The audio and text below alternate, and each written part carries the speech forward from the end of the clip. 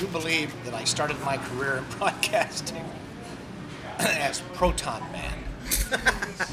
and I uh, had long underwear with a lightning bolt. So you thought that this would somehow lead you to becoming the big investigative reporter? I also did news at night. Later on, I do the news, but they could not. They did not know that the guy Proton Man was also the newsman. uh, but this is how you you start. I mean, you start doing whatever you can.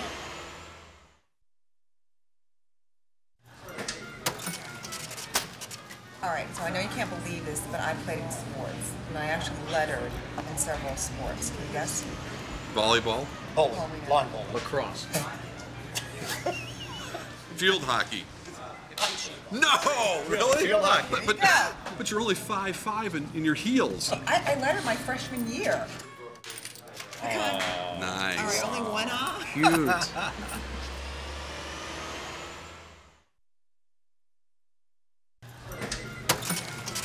uh, I'm a junior in high school, 17 years old, and my, my mentor Hal Scott made arrangements for me to, uh, to show up on my first Saturday.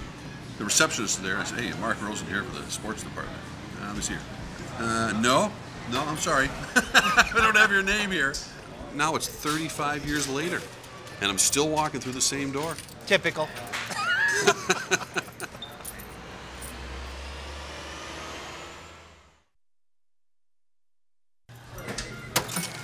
Well, here's the deal.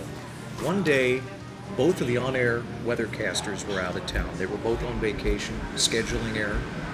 The news director, Jay Newman, called. So he's frantic. He goes, "Look, we know you do the weather for us. We don't care what you look like. Just come up one day and be on the air." It was a Tuesday evening.